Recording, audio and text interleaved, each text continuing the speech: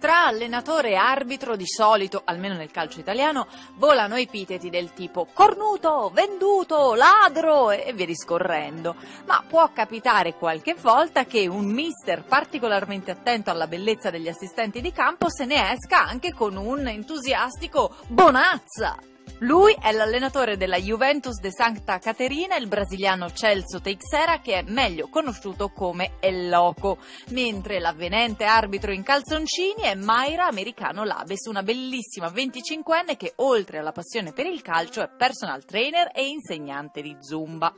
Con quel fisico scolpito al punto giusto e l'uniforme striminzita, l'allenatore non ha potuto far altro che distrarsi ogni tanto e puntare il suo lato B piuttosto che la palla in campo, arrivando persino ad apostrofarla come gostosa.